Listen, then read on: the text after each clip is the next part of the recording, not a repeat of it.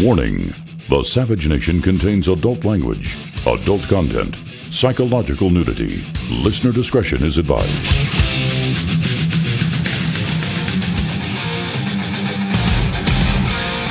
And now, America's most exciting radio talk show, The Savage Nation, home of unprotected talk, borders, language, culture. And here he is, Michael Savage. The road ahead is not going to be easy. It never is, especially for folks like you and me. Because while we've come so far, the truth is that those age old problems are stubborn and they haven't fully gone away. I don't feel no ways tired. I come too far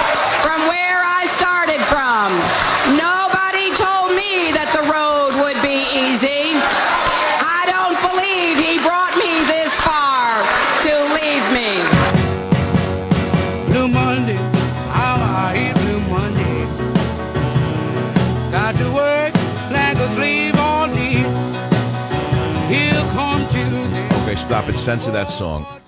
We have to go back to Fats Domino and take out work like a slave all day because that's offensive. It's offensive to so many Americans and make them feel insecure. So she's at it again. She did it last year, another graduation speech, attacking Whitey again. Oh, in a subtle way. She's a, she's a victim. I mean, the first lady is a victim.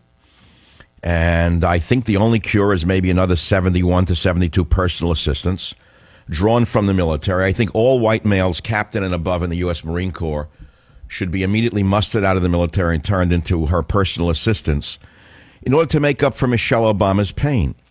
And perhaps a few more trans world vacations at our expense, with her mother, of course, might make her feel a little better about the racism of America. It's sickening. It's disgusting. It shows she's immature. It shows she was never qualified to be first lady. It shows you how far she's drug uh, the, the, the office of the presidency down to her husband's level. But there's more to it than meets the eye. This is their stock and trade. In addition to attacking police, and oh, by the way, cop killings have doubled as a result of the president, Barack Obama. Uh, let us see who else. Bill de Blasio in New York. Oh, who else? Al Sharpton and everyone in the media and their hate campaigns, which have been launched for two years now. Now cops are getting killed on a regular basis. I couldn't sleep last night thinking about the pain of the family in Hattiesburg, Mississippi, of the two cops who stopped the car in an ordinary traffic stop, and because of Barack Obama's hate and because of Eric Holder's hate attack upon, upon police and Al Sharpton's vicious, vicious, vicious scum mouth, the cops are no longer protecting themselves. They're letting the vermin kill them first. Thank you, Sharpton. And this is all she can talk about. It's about her again. Instead of apologizing for what she's done to America, how she's insulted the office of the First Lady, instead she goes to the Tuskegee Institute, an all black college, which is interesting unto itself. I don't know of any all white colleges, do you? But nevertheless, she goes to an all black college where the kids are generally very smart and very good students. And instead of leaving them alone to go forward in their lives as equals, she tells them they're not really equal and that there's a lot of racism in America. All right, what can I do about it? Talk about it. That's all. All I can do is talk about it. Listen to this. Listen to clip number two of your First Lady, Michelle Obama. Listen to this. It's sickening. I didn't start out as the fully firm, formed First Lady who stands before you either. today. No, no, I had my Oh, share no. of bumps along the way. Oh, you're but suffering. as potentially the first African American First Lady, I was also the focus of another set of questions and speculations. Speculation. Conversations sometimes rooted in the fears and misperceptions of others. No, not fear. Was I too loud or too angry or too emasculating? Yes, you are. You're all of those things. And it has nothing to do with fears or misperceptions. Anyone who doesn't see that in you is not seeing reality. Anyway, happy Mother's Day. I had a nice Mother's Day yesterday. I went to the North Beach restaurant. And yes, I paid for my meal. I am not uh, the former mayor or, or others in the city who seem to think that there's a perennial free check. So I hear, including a talk show host who uh, has been eating for free for the last 30 years in an old dirty Aloha shirt. No, I insist on paying my bills. And um, Teddy loved it. Teddy had a wonderful Mother's Day. I don't know what he ate. He ate a bowl of water and chicken, right? We always get chicken for Teddy. Broiled chicken, no salt, no pepper. And I usually get it first for the dog, and I'm his food taster. It's actually the best appetizer the, on the menu, so that's why I order it from. And then I always say it's too hot for the dog. Let me taste it first. Usually I'm starving till they feed me. I eat too much bread. I drink too much alcohol. So it's better that I eat the dog's uh, appetizer first. So here's what we're going to talk about, I think, so far. I'm going to talk about Michelle Obama's racism and how she won't stop and let it go. We are going to give you a banned in Britain update because now that the conservatives have won a plurality in England and do not need the liberal Democrats for their coalition, we are hopeful that Mr. Cameron will finally take Michael Savage's name off the banned in Britain list. Because make no mistake about it, not Rush Limbaugh or one of his girlfriends or boyfriends or minions, but Michael Savage is the only member of the American media who is not allowed to enter Britain because of the blacklist that they created based upon a smear campaign. And I'm tr- still trying to get my name off the list. So I'm working with a major, major newspaper, which I will not mention until it's set in stone. We're going to send a letter to Mr. Cameron and I'll tell you more about what we're going to say to him about free speech because no one in the media knows more about free speech than I. That's also coming later. And today is the first day of the rest of my life, and it's the day that uh, sorry, Countdown to Mecca is in bookstores, or they better be there. And you're going to go and be my little soldiers, my armies of the day. I want you to be my armies of the bookstores, ladies especially. I want you to go in and look for Countdown to Mecca go to the big chain stores. If the book is not prominently displayed, will you please report to the show, either in this show today, because, hey, it's only uh, 10 after 12 here on the West Coast, 10 after 3 on the East Coast. Oh, by the way, the terrorists have an attack. They threatened a catastrophic event that, uh, ooh, an hour and a half ago. I guess the world is waiting, shaking in their boots. But apparently, the hackers uh, who cut people's heads off, who have their hands tied behind their back, or rape children under the age of eight as part of their religious beliefs. ISIS threatened an attack today at 2 p.m. Eastern, and since it's now 10 after 3 Eastern, we don't know where the attack may have come. A group of hackers, and I love our intelligence community doesn't know how to stop them. You hear this? That's what they have trillions of dollars for. Meanwhile, Department of Homeland Security, I understand, spends more money on global warming, the big lie, than they do on radical Islamists ready to strike. You hear this? Who's Jad Johnson anyway? Where did he come from? Where did Obama dig this guy up from? I have no idea who Jad Johnson is. Jad Johnson. A real hero, a great hero of the American way. Anyway, a group of hackers affiliated with ISIS were threatening to carry out a cyber attack today at 2 p.m. Eastern. So far as I know, uh, they haven't done it yet, but we're all sitting here sh- shaking in our boots, being protected by uh, Jad Johnson, I suppose. He could have. He may take credit and say that he, he averted it. Ah, yes, indeed. What else is in the news? What else am I going to talk about? Well, I'll tell you what I'm going to do for you today. Over the next few days and weeks, I'm going to read two pages a day from Countdown to Mecca. I'm also going to play for you a wonderful interview I did this morning with WorldNet Daily on the banned in Britain story that I just told you about. I'm going to give you all the breaking news. And wait, if that's not enough for you, if that's not enough for you, we're going to play clip number four right now of Michelle Obama, the picked upon First Lady who was just so hurt, just so injured, and just so oppressed from racist America. Listen to 04. So, yeah, I planted a garden and hula hooped on the White House lawn with kids. I did some mom dancing on TV. I celebrated military kids with Kermit the Frog. I asked folks across the country to wear their alma mater's t-shirts for college signing day. But what does that have to do with why you're the most despised first lady in American history? Why don't you talk about why you are despised and why you're not trusted? How about your anger and your hatred towards white people? Which literally pours out of your mouth every time you open it. Number two, how about your abuse of power? How about the fact that you have 71 to 72 personal assistants at public expense? How about the fact that everyone knows you're a monster behind the scenes And how about the fact that I can prove it by the fact that you fired your florist? Listen, not all of us are suffering memory, memory loss, Mrs. Obama. In fact, many of us can see exactly who you are. So don't think by telling us about mom dancing on TV, we're going to forget it. And speaking about memory loss, for those of you who are health conscious and frightened of everything you eat and drink, which seems to be America's pastime, America's hobby seems to be frightened of everything. They're afraid of uh, fat, they're afraid of sugar, they're afraid of salt, they're afraid of ISIS. And I don't know which one frightens them more. I think they're more afraid of gluten than they are of ISIS. But nevertheless, also on the Savage Nation today, something no other host can give you 20 medications that cause memory loss. You're not going to believe which common pill you're taking that will probably, over the long haul, weaken, if not destroy, your synapses and your memory. I'll be right back. Join the Savage Nation. Call now 855 400 Savage. 855 400 7282. Savage. Your Savage Nation is sponsored by SwissAmerica.com. It's the only company I trust for tangible assets, gold and silver. Call 800 B U I C O I N. They will make assumptions about who they think you are based on their limited notion of the world. And my husband and I know how frustrating that experience can be. We've both felt the sting of those daily slights throughout our entire lives. The folks Oh, who crossed my. the street in fear of their safety. The clerks who kept a close eye on us in all those department stores. The people at formal events who assumed we were the help. And those who have questioned our intelligence, our honesty, even our love of this country.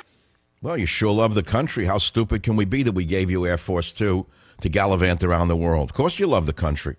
I'd love it too. Have the mother in the White House at public expense and no one dare say a word. What could be better?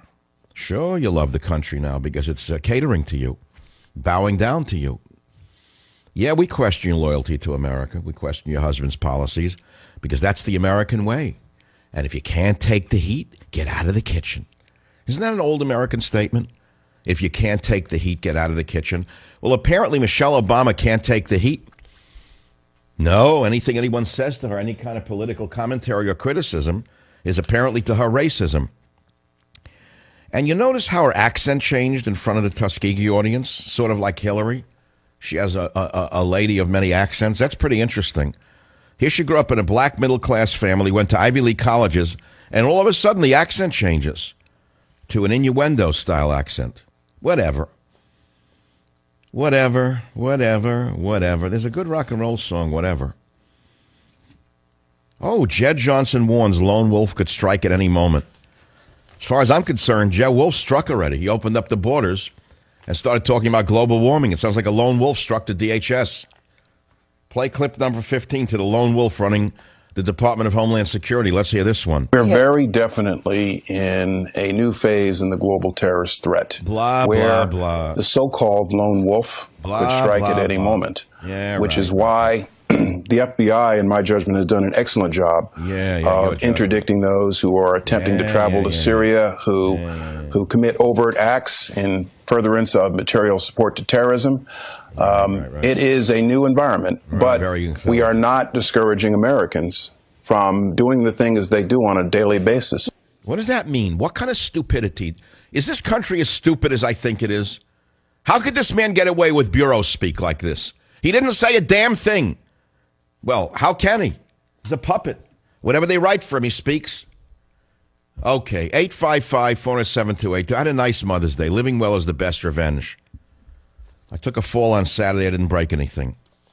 That's interesting. You know, when you're a little older guy and you fall, you think you're like it's your last fall. I fell. I hit the cement, and all I did was bruise my palm and my knee, and uh, nothing broke. How is that possible? And I don't. I don't take CalMag, and I avoid all dairy. So obviously, I have very low calcium stores from food sources and from vitamin sources, and yet my bones are not brittle. Uh, it must be the vitamins, the uh, vodka, the, the three V's. Vitamins, vodka, and vitriol keep me going. Doc Savage's 3V vitamin all in one. Vitamins, vodka, and vitriol. That's funny. There's a certain ring to it. Teddy is so beautiful. I don't know. I love this dog. He's, the people say how old is he? He looks two. He's ten. I dread him dying. I don't. I just can't think of it. I just don't. The other one's in a box already on the bureau. The ashes. Sometimes I look at the picture of the other one. I'm not ready to put him in the ash box yet. I don't know. I I am counting the days. They live long, little dogs. I get fatalistic about my dog. They say, "Oh, stop it. He's a he's a he's a small dog. They live longer." Then someone said, "Well, why do dogs die so young?" And the smartest woman in the world that I know, you know what she said? Tell this to your children because children get frightened over death.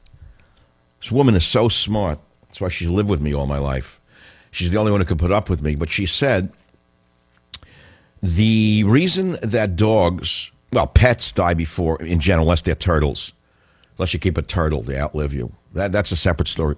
The reason dogs, let's put it that way, die before us is otherwise, if we die before them, they'd have no one to take care of them. So God is so good, they set it up so they die before us. That's kind of nice. It's comforting. It's nice. Dog heaven, somewhere up there. You know, somebody up there likes them. And there's a picture of me. Oh, is it on my website yet of me and Teddy dining in the restaurant? And I paid for the dinner. It's not a freebie. MichaelSavage.com. I'm not the guy in the Aloha shirt. Did the picture go? Oh, there it is. On the left side. On the countdown to Mecca. It, I don't look good in the picture. It's uh, photoshopped. It looks. I don't know. I I don't photograph well. I'm not in television. No makeup. No no no nothing. I actually look good in the picture itself. I don't know. I'm still, I'm in good shape for a guy my age. I'm very good shape. I'm in better shape than I was at 30. How does that work? My eyebrows are still black. I can see that. Let me look at the picture. Nice, uh, nice glasses. He's going on and on about himself. Yes, I'm going on and on about myself. You don't like it? Go listen to someone else. See if I care. It's my show. What do you want me to do? Make believe I. Here's how to look at it instead of getting mad. And by the way, don't get mad just go away, that's all. That's all, you know, go away. Here's the thing it's make believe I own a restaurant or a bar and I'm the bartender or owner. I'm talking to you about my life and my restaurant. You'd listen to it, right? Because it's my restaurant. Join the Savage Nation. Call now 855 400 Savage. 855 400 7282. Savage. Uh, actually, it's a tennis court that we repainted some lines when I came into office. Uh, so it's a combination basketball tennis court. Uh, there is a putting green that President Eisenhower put in. Can you imagine, by the way, if I had put in a putting green? Things have changed. Gee, I wonder why people didn't resent Eisenhower putting in a putting green, but they resent you abusing your office so regularly to go golfing on Air Force One. But you see, when you are a glib con man, you say things in front of your uh, acolytes, they laugh, and you think the world is an oyster and everyone believes you. But no, most of the world despise you. In fact, not only do American conservatives look right through this first couple, did you hear what happened today? Four of six Gulf rulers are skipping Obama's Middle East lecture tour. In fact, the new king of Saudi Arabia told him an hour before he's not going. So, you know, the king has no clothes. They can look right through this con man. They know he's a stooge of Iran. And Saudi Arabia is not even going to the conference because he's going to lecture them on human rights. Can you believe this? He's going to lecture them on human rights and not say a word to Iran. So don't tell me we can't see the, the picture. God sees the truth but waits. I see the truth and I don't hesitate to tell it to you like it is because that's my one and only job. Forgive me if you find what I may say slightly offensive at times. I have one job. You know what that job is? Is to keep you listening and tell you like I see it. Call them like I see them. That's my whole job. It's that simple. What else do you want me to talk about? You want to give you the government party line? I don't work for, for Westinghouse. I don't work for NBC. I don't work for a CBS. I'm not Bill Maher. I'm not one of the the uh, the stooges, the government jesters with the fake audiences that every once in a while they throw out a conservative line and make believe that they're really not a government jester. Their own lock, stock, and barrel. They may as well be trained by the CIA to, to put out the rubbish they put out with the laugh lines. It's like Obama in front of a stooge audience. So there it is. So, of course, you're going to be offended by certain things that people say if you live in a world that's so constrained. All 19 women failed Army Ranger School in its first phase. Boo hoo. Well, why don't you change the rules? I guess it's a racist white male thing. Ranger School. It's not feminist enough. I think they should make it easier for women to pass the Ranger School. Then anyone could be a ranger, the way anyone could be a sociology professor. Oh, okay. What's the point? Look, I could do this day and my hand behind my back. Liberals over conservatives nine to one at college commencements. Gee, I'm shocked by that. Isn't it odd that I am one of the most distinguished graduates of the University of California at Berkeley with a real PhD, with 25, 28 books to my credit, many bestsellers, and I've never been invited to UC Berkeley to give a speech. Instead, they invite liberal slime to give graduation speeches, including the uneducated dolt Nancy Pelosi, who last year at graduation got up there like the moron she is and said, What was the word she used? Disruptors. I remember it. She said, Be a disruptor. Go out there and be a disruptor, said Nancy Pelosi. So they burnt Oakland to the ground. They smashed up cars in Oakland, California. I guess they uh, were, were the disruptors. And do you know why she wanted them to be disruptors? Do you know why Hillary tells them to be wild and free and crazy? Do you know why Al Sharpton wants the cities to burn? Do you know why Obama and Eric Holder want the mobs uh, raging? So they stay away from the White House lawn. You don't understand it. It's called diversion. Now, speaking of diversion, I wrote Countdown to Mecca, which was a really great novel. Was, I mean, when I wrote it. And I'm afraid that what's going to happen is it's going to be misinterpreted and attacked they're going to say I'm calling for the bombing of Mecca, which is the exact opposite of what the novel is about. And I have to defend myself today. The novel is now in the bookstores or putatively there, should be there. I want you to go there and check after the show. Or if you're walking around on a, on a mobile device, go to a local bookstore and ask for Countdown to Mecca and call this program at 855 47282. Because I know the publisher, let's put it to you this way I don't know anything. I suspect They've been very uncomfortable with this book from the beginning. I know the bookstores are afraid to show it. I know that we're living in a new age where only politically acceptable books are featured, like uh, Jenny married two mommies or Jenny had three goats. I don't know, whatever it may be. So I did an interview this morning to set the record straight no, let me take a call. David on WABC has an interesting co- uh, comment. David, go ahead. What's on your mind? What happened? Hi, Michael. I'm David. I'm calling from the New York metropolitan area, although I live in New Jersey. I'm an ordained minister, and I was invited to uh, preach at a African American church in New York. Uh, I know you know New York, 7th Street between B and C Avenue. By oh, yeah, yeah, the East Village, the old East Village. Absolutely. In fact, it's right where the fire occurred about two months ago, the, the building that blew up from the gas main. Hello? Yes, I was. All right, I know the area. There used to be a great restaurant there. I know everything by food. So what's on your mind? Well, I was preaching, you know, Mother's Day message, and I suggested, you know, buy your mother some flowers, take her to a restaurant, and if you don't have anything else to do, get her Michael Savage's new book, Countdown to Mecca which I'm awaiting. Uh, I said probably tomorrow. The next day it should be available. That's a great book, or the upcoming, you know, the, the Civil War, or. Uh, but I would suggest Countdown to Mecca. They had invited me to dinner after the service. The thing is, once I said Countdown to Mecca, they disinvited me to the Mother's Day dinner. Well, that's very tolerant and liberal of them, isn't it? They haven't read the book, but they banned you already. Amazing. And they had a photo inside the church, Michael, inside the church of a President Obama with a saying, "Yes, we can." So I just, you know, went home. No I guess they're. I guess they're bigoted. I guess. Can you say blacks are bigoted? Is it possible? Yes, sir. Are there back, are there bigoted blacks, or you're not allowed to say that? Well, they're. I think it's, or is it limited only to white people? And they're a bigoted uh, Hispanic. I'm Hispanic. Really, I'm shocked. Are there bigoted Chinese? I would be shocked to find out that that's so. Absolutely. You mean there are a bigoted Japanese? I don't believe that. No, only white people are bigoted. You know, it's sad that they're so narrow minded in that church, but I appreciate your going to bat for me. And let me send you a free copy right now. But before we uh, uh, leave this topic, since today is the launch uh, of the book, I want to play a little bit of why I'm talking about it to you today. Listen, here's what morning, I did this morning. I was interviewed by World Net Daily about my novel Countdown to Mecca which is in the bookstores today.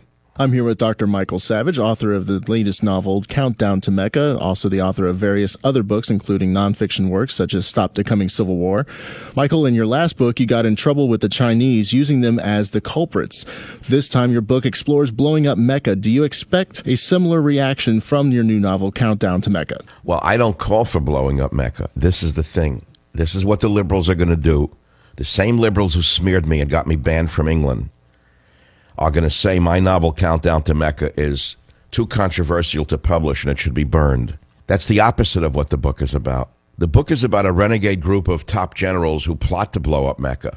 And Jack Hatfield, my hero, gets wind of the plot in a, in a roundabout way and races to stop it. And guess who tries to stop him? The CIA.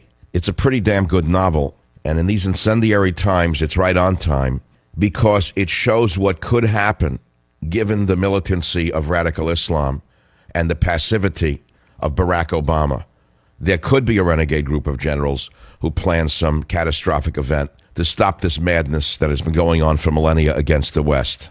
And as we all know, that would lead to Armageddon, which none of us would benefit from. Dr. Savage, your critics accuse you of being militant in your books and miss the nuances of your characters. Do you feel the Chinese really are that militant? I could answer that very simply. The Chinese are on a militant course, are they not? Didn't we read that they're building aircraft carriers? They're committed to cyber war against us? I mean, how wrong was I? Just because we're doing trade with them and the traders in the industrial world could care less about tomorrow and live only for today? I was wrong? I don't think I was wrong. We know that radical Islam is on the move. The FBI says so. They tell us, DHS now tells us, uh, to expect an attack any second. They're spending more money at DHS on, on global warming than they are on protecting us from these sleeper cells in America. We're living in very crazy, dangerous times. I don't have to tell you that. But I had to go to the novel, Countdown to Mecca, to get some of my ideas across that I'm reluctant to state on the radio show for fear of boycotts, etc. That's why I wrote the book. You've had sympathetic Muslims as characters in past novels, and you have a diverse cast of characters. What else have you added for Countdown to Mecca? We all know that that there are several different varieties of Christians and several different varieties of Jews and Hindus and Buddhists and and um, Muslims. Uh, no one, none of them are monolithic. Uh, we have Jordan and Egypt joining in an air war against the uh, crazed forces in Yemen. We understand that. We understand that we have a president who's on the side of Iran rather than on the side of Saudi Arabia. In fact, you saw the news that this new Saudi king gave Obama a one hour notice that he's not coming to his summit. Can you believe that the king of Saudi Arabia, an ally of ours since the 1950s, does not trust the character in the White House any more than I do or you do because they know he's in Iran's camp? So not everyone is as gullible as the New York Times about Barack Hussein Obama. I'm not alone on this. Uh, but get, getting back to the novel, which is why you're interviewing me, Countdown to Mecca. Look, let's be clear. I have a problem in the beginning, which I really shouldn't even disclose to you, but I have to. The publisher was afraid of this book from the first second. They try to get me to change the title. Now they won't promote it. They will not even do a mailing to my own list, if you can believe this. I asked them to mail to my 100,000 person list at WorldNet Daily about the novel's publication today. They refused to do it. I think that they want the book to go away. They want it buried. They don't want it out there. Now, remember, this is the publisher who published Abuse of Power and A Time for War, and they did very well with them. So this is the third and last in the trilogy called Countdown to Mecca. The fact is, the publisher, I think, doesn't want it to go anywhere. I mean, that's what I see happening. I would ask my audience to go into a bookstore today, tomorrow, Wednesday, and see if it's even there. If Countdown to Mecca is not there, demand that it be put where it belongs, because otherwise, this important message will not get out there. And the message is simple a terrorist attack has been put into motion by both sides. And the one man who might be able to stop the attack is Jack Hatfield, a freelance reporter who has never shied away from controversy. Join the Savage Nation. Call now 855 400 Savage. 855 400 7282. Savage. Hey, our Savage Nation is sponsored by SwissAmerica.com. The only company I trust for wealth insurance, gold and silver. Call 800 B U I C O I N. The Savage Nation. I'm not in the rock and roll mood. Turn it on. I don't know. Uh, thanks, guys, for picking it. It's not pleasing to my ear. I just decided I don't want to hear it. That's all. It's Monday after Mother's Day. I'm having a letdown because my family's in an airplane now going. I'm the only one left here. I don't feel good. I don't like it. They're all going to L.A. now. I'm left alone because I'm on the radio. This is what the sacrifice I make. They're leaving like in an hour, and they're, they're, you know, I'm, I'm stuck here. They're going to L.A. I, I don't like that. I sacrifice everything for the show. I'm not complaining. I'm not Michelle Obama. I'm not complaining. I'm not Barack Obama. I'm glad I have. What's the plane? It's attacking me or what? It's too close to the studio. Can the sound coming right through the microphone? All right, let's take some callers. WABC in New York, Ethan, welcome. Go ahead, please. Michael, thanks for the show. Hey, listen, I just wanted to say that uh, I think that your fiction writing is bleeding a little bit into your talk radio work because you're stating your opinion that uh, the majority don't like Michelle and don't like Barack as fact, and that's just a falsehood. I'm a- I don't think I said the majority, did I? I said the majority of taxpayers, if you listen carefully, not the 93 million not working who live on government benefits. Of course they love Michelle. And of course they love Obama because he buys their, their, their, their happiness and their votes. Of course, men like you probably have plenty of money. And I think you suffer the, the mental illness of liberalism. You don't even know what this man's doing to your country, do you? I like it. You're you're perspicacious. The last time I called, you accused me of being a hedge fund manager, and uh, you're. I don't know who, sir. I don't really know who you are. I have nothing against you. I have nothing for you.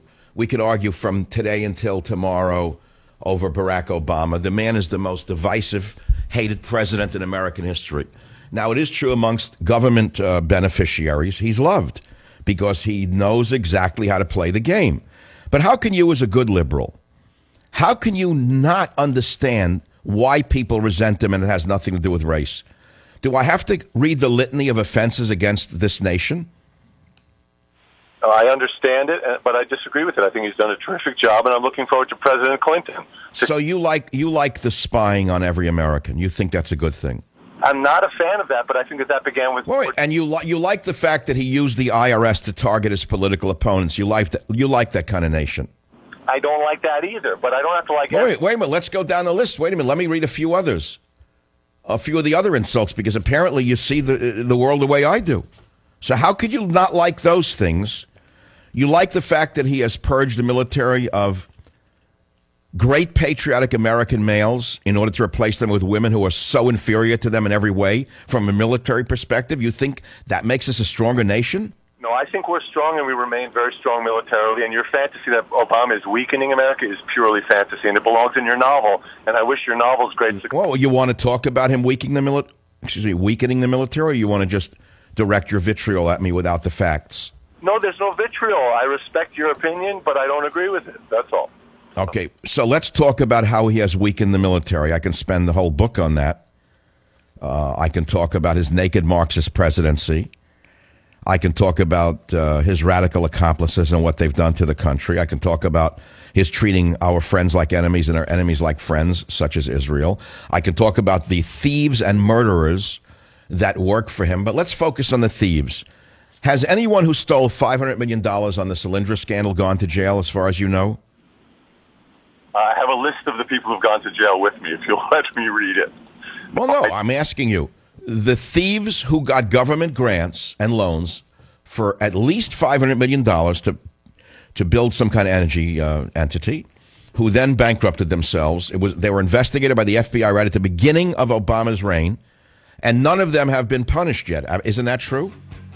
I, I don't know if that's true, but it sounds to me like part of your. I wouldn't make that up. Nobody from Solyndra has been indicted by Barack Obama because they're part and parcel of his campaign. How about all the others who have taken billions and billions of dollars on false energy contracts, who are stealing us, robbing us blind, Ethan? I mean, if you're really fair minded, you'd be offended by it.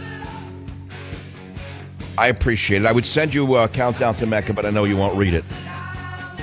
Join the Savage Nation. Call now 855 400 Savage. 855 400 7282. Savage. Warning the Savage Nation contains adult language, adult content, psychological nudity. Listener discretion is advised.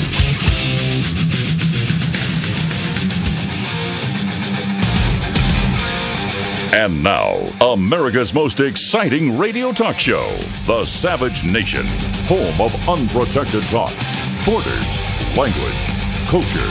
And here he is, Michael Savage. Blue Monday hate Blue Monday. Got to work like a slave all day. Here come Tuesday, oh Tuesday. I'm so tired, got no time. Yowza, yowza, yowza. Step right up, ladies and gentlemen, to the only Tory radio show in the United States of America. I realize I'm a Tory. I don't know what a Tory means, where that comes from. Hmm. But I promise not to tell you a tall story. So the Tories won in England.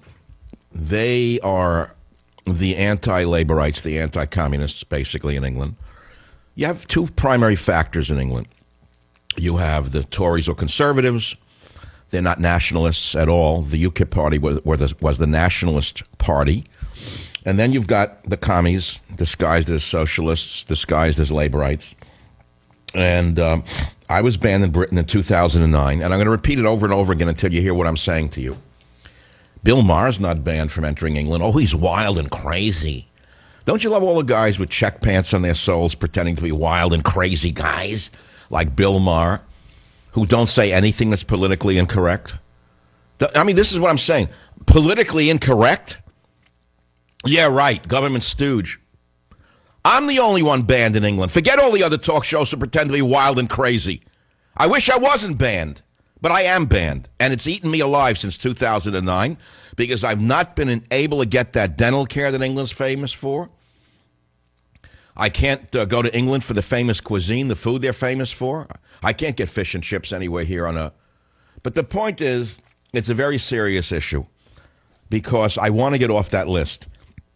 And I want Cameron to listen to my appeal. So I want to talk about that for a bit, as well as Mother's Day. Read from my new novel, Common Medicines That Cause Memory Loss, and every other news story I can think of that's of any interest to you. So let's begin with a caller on WABC in New York. Ed, welcome and thank you for calling the Savage Nation. What's on your mind? Michael, uh, thanks for taking my call. I've Been dying to talk to you for years. Of the uh, Big Five talk show hosts, I think that you're the most interesting. You're the kind of person you could talk about issues in a. Uh, well, we all like to think we're the most interesting, but what's the main point today, Ed? I think you want to make a main point.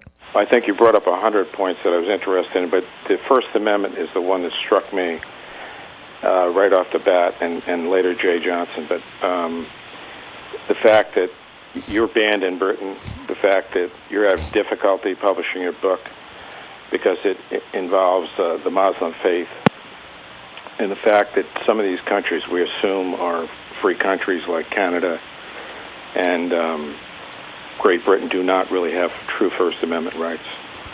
Right. Now, this is an important point, which is why I took your call, Ed. Britain does not have a First Amendment.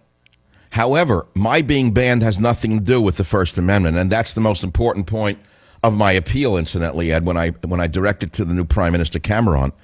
And I want to thank you for calling. I'm sending you a free copy of Countdown to Mecca. But here's what I must do right now for all my listeners. Back in 09, when I was banned, I desperately tried to get my name off the list. I was terrified of the, of the blacklist because I thought it would metastasize and I'd be banned from entering any other country, you know, with the EU. I really did. Thank God that didn't happen. So I wrote a letter to the prime minister who banned me, Gordon Brown, and I'm going to read it to you. It's an it's an important letter. It's a historically important letter. Those of us interested in the First Amendment and free speech should pay careful attention to what I wrote. It was very carefully crafted. There's no vitriol in it. Listen. The Prime Minister, 10 Downing Street, London, Southwest 1A 2AA, June 8th, 2009. Dear Prime Minister, I'm a radio show host in the United States.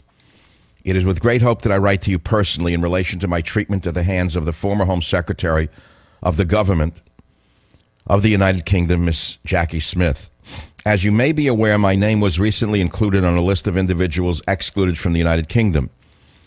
I understand the policy under which the list was compiled is aimed at excluding individuals who stir up, justify, or glorify terrorism, encourage others to participate in terrorist acts, engage in serious criminal activity, or encourage others in such activity, or foster hatred which might lead to intercommunity violence in the United Kingdom. The decision to exclude me was plainly arbitrary and based on sound bites taken out of context. Moreover, the circumstances of the decision were, were on, on any view, quite extraordinary. I had made no request or given any indication that I proposed to visit the United Kingdom. Nonetheless, in or around December of 2007, Ms. Smith decided that I should be excluded from the United Kingdom. No explanation has been offered as to why, of all the people in the world, I was selected for inclusion in the list of those so excluded. I was not consulted about or even informed of this decision at the time. The first I heard of this was when a press release was published on 5 May 2009. The press release stated that I, Michael Savage, provoked others to commit crimes, that I sought to provoke others to serious criminal acts, and that I fostered hatred which might lead to intercommunity violence. These allegations are entirely untrue and extremely damaging. They are the subject of a defamation complaint against the Home Office and Ms. Smith. I'm advised that these allegations are serious and that should I press my claim, I am likely to recover a very substantial award in damages. It is particularly disturbing that the press release containing these serious allegations has not been removed from the website of the Home Office, despite repeated requests for this to be done and the complete failure of the Home Office to substantiate the allegations. Again, this is Michael Savage, the only American media figure banned from entering Britain, and this is a letter I wrote to the Prime Minister which I'm going to rewrite to the new prime minister. Let me continue. As you will understand, I was shocked to find my name listed with known murderers and terrorists. Shocked because in my 15 year radio career, it's now 21 years, I have never advocated violence, nor have my words ever led to violence. Shocked because I was put on a list with a Hamas murderer who killed two young Israeli parents and then assaulted and killed their four year old daughter with a rifle butt. Shocked because my name was listed alongside Russian skinheads who glorified their murder of immigrants. It was particularly astonishing to me to see this happening in the land that I have so long admired, the land of the Magna Carta, the land of the mother of parliaments, and the land of the great Winston Churchill. I am not an extremist. I am one of the most successful radio presenters in the United States with over 10 million listeners. Prior to becoming a radio presenter 21 years ago, I was a nutritionist and botanist. I have two master's degrees in medical botany and medical anthropology and a PhD in epidemiology and nutritional ethnomedicine from the University of California. I am the published author of over 25 books on these and related subjects. As a scientist, I have helped to rescue rainforests in the South Pacific, and I've cataloged hundreds of disappearing medicinal plants around the world. In fact, Kew Gardens in England is home to one of my rare collections of such plants. I am a passionate believer in free speech, and it was a great honor to receive the prestigious Freedom of Speech Award by Talkers Magazine in 2007. It has been said by Ms. Smith that I advocated killing Muslims. She arrived at this conclusion by taking a statement I made completely out of context. I do not advocate killing Muslims or indeed anyone. I would never have been allowed to broadcast in the United States, nor would I have gained the popularity I have if I did, or if my views otherwise provoke criminal acts or intercommunity violence. It seems to me that the most likely explanation for inclusion on the list was a desire that it be comprised of individuals of a mixture of ethnic origins, religions, and nationalities, and that I was identified and chosen solely to give the list a politically correct balance. That, of course, would be a wholly unfair and arbitrary way to proceed particularly given that there were no proper grounds to exclude me. I have been heartened by the vast support that I have received from the British public. It is clear that the British public value the fact that they live in a country that recognizes free speech and are appalled at the arbitrary way in which a decision to exclude me has been made. My listeners in the United States have also been shocked at the decision of Miss Smith. This has caused great damage to the reputation of the United Kingdom in my country. They, like me, cannot believe that the land of Magna Carta would have been reduced to this level. One listener in particular wrote to me and told me that he has canceled a $5 million order for equipment manufactured in the UK and is also going to cancel two additional machinery orders valued at $2.2 million each in light of this decision. I note that Ms. Smith has resigned as Home Secretary, and a new Home Secretary has taken over the role. I have today made an application to the new Home Secretary to consider reconsider my exclusion as a matter of urgency. By the way, that was never done. I'm still on the list. Can I continue? It's another page long. Actually, it's a half a page. It's it's a document that has to be read on the radio because many of you are going to YouTube it. And you're going to say Michael Savage appeals to the new prime minister to take his name off the ban list. So here's the rest of it and the conclusion. As a student of the history of the United Kingdom, I am aware that in 1945, Winston Churchill said the following quote, No socialist government conducting the entire life and industry of the country could afford to allow free, sharp, or violently worded expressions of public discontent. They would have to fall back on some form of Gestapo, no doubt very humanely directed in the first instance, and this would nip opinion in the bud. It would stop criticism as it reared its head and it would gather all the power to the Supreme Party and the party leaders, rising like stately pinnacles above their vast bureaucracies of civil servants, no longer servants and no longer civil, close quote. It seems to me that the illiberal attitude of Miss Smith in this case evokes the worst fears of Mr. Churchill. I also noted that in your moving speech at the D-Day memorial on Saturday, you stated, quote, tyranny may suppress, it cannot endure forever. Dictatorship may for a time have the power to dictate, but it will not in the end decide the course of the human journey. Close quote. I believe that little could be more tyrannical than the arbitrary and unfair exercise of power to exclude someone from a country for the purposes of suppressing free speech. Here's my last paragraph. My family and I are both suffering from this grave injustice. For these reasons, I respectfully appeal to you to prevail upon the new Home Secretary to address the injustice caused by Ms. Smith and remove forth, forthwith my name from the list of excluded individuals. Yours faithfully, Michael Savage. I have never heard anything from the Prime Minister which was not a complete surprise. I am still banned from entering Britain. I, Michael Savage, am the only member of the American media so banned. Fox News refuses to acknowledge it. I'll be right back.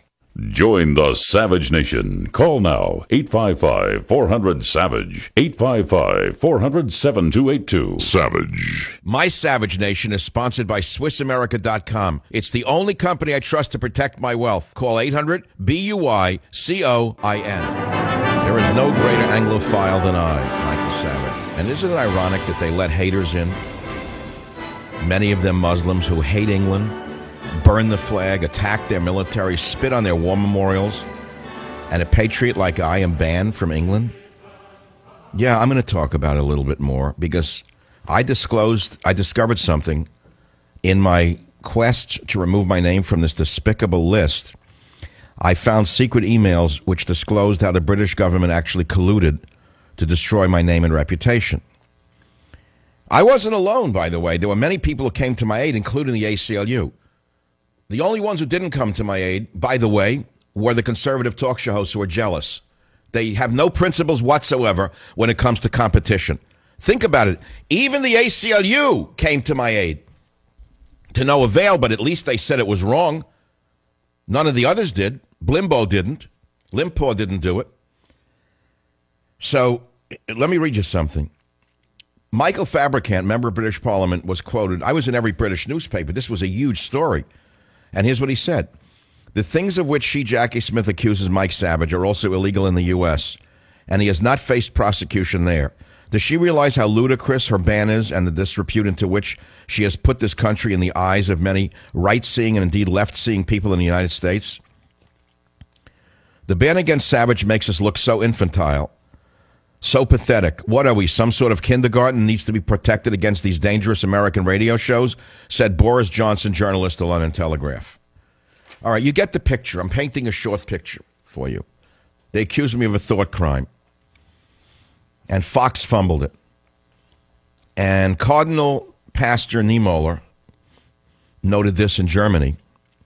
He was a pastor and a German during the Nazi regime. And he uh, movingly encapsulated the apathy, apathy of the people, including himself, as Hitler gained more power. Here's what he said. He said, When the Nazis came for the communists, I remained silent. I was not a communist. Then they locked up the Social Democrats. I remained silent. I was not a Social Democrat. Then they came for the trade unionists. I did not protest. I was not a trade unionist. Then they came for the Jews. I did not speak out. I was not a Jew. When they came for me, there was no one left to speak for me. So first they come for the conservative talk show host, and you did not speak up? Because why? You're not a conservative talk show host? But as the poem goes, my dear listener, by the time they come to you liberals, there is no one left to speak up for you. So that's it. That's the, the essence of the whole story. I'm not complaining. I'm not crying. I'm not whining. But I am going to struggle again now that we have a conservative government in England to appeal to Cameron now that he no longer has to beg the, uh, the, the, the left to make policy to get my name off the list. And by the way, if I am lucky enough to have my name removed from this despicable list of, of banned individuals, I will bring an audience to England. We'll all go there together. I don't know how many of you, 500, 1,000. Maybe we'll rent a ship and we will arrive in England together and we'll unfurl the American flag and the British flag together and see a unity that they haven't seen since World War II. Wouldn't that be wonderful? I have a dream. I have a dream. Okay, let's go to KSFO. Ty, welcome to the Savage Nation. What's on your mind? Aloha, Dr. Savage. Ty uh, in Hawaii, listen to KSFO online. Um, I would like to say that um, if thinking is a crime, uh, it certainly is not violent, and uh, I don't agree with the ban on you. Well, I appreciate that, and we'll send you a copy of Countdown to Mecca, which should be in the bookstores. We'll find out if they make them, if they're allowed in Hawaii. I don't know. Is Countdown to Mecca permitted in Hawaiian bookstores? Aloha. When I come back, Michelle Obama's letting loose on race in her graduation speeches once again, playing the victim and playing the race card, getting a twofer.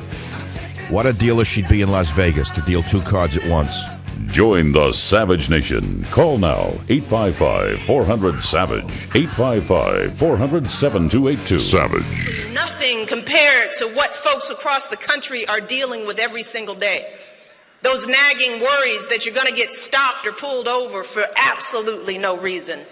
The fear that your job application will be overlooked because of the way your name sounds. Shame on you, you race The agony you. of sending your kids to schools that may Lawyer! no longer be separate, but are far from equal.